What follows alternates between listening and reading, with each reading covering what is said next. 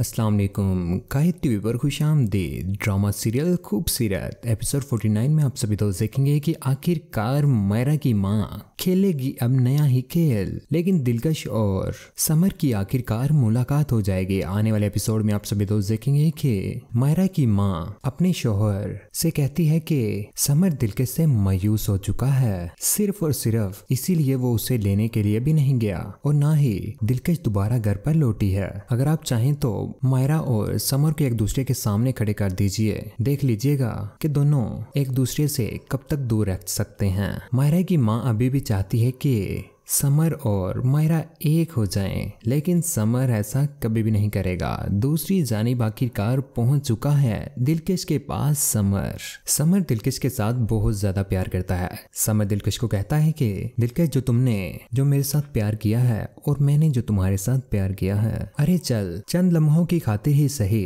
अपने घर लौटाओ दिलकश।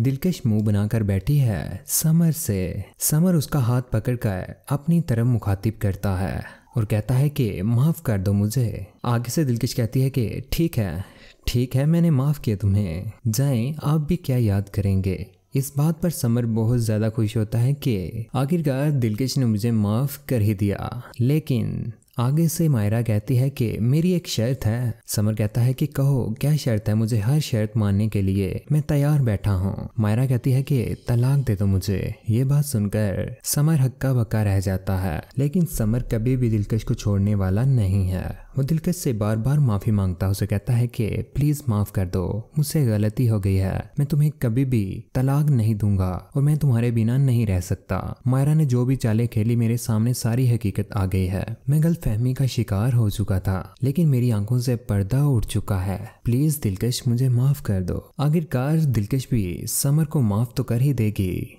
लेकिन माहिरा का होगा बुरा अंजाम जिस तरह से वो समर के साथ कर रही थी, बहुत जल्द मायरा का बुरा अंजाम होने जा रहा है। लेकिन दोस्तों कौन कौन चाहता है कि समर और दिलकश एक हो जाएँ? और और, मायरा का क्या होना चाहिए? इंजाम अपनी कीमती राय का इजहार नीचे कमेंट सेक्शन में ज़रूर कीजिएगा। वीडियो को लाइक कीजिएगा और हमारी वीडियो आप सब दोस्तों के साथ ज़रूर शेयर किया करें। चैनल भगने नया चैनल सब्सक्राइब करने के बाद बेल का बटन ज़रूर दबाइएगा। उसका फ़ायदा ये होता है फ्यूचर में हम कोई डालेंगे, वो आप तक जल्द पहुँच जाएगा। अपना ख्याल रखिएगा दुआ में याद रखिएगा। अल्लाह हाफिज़।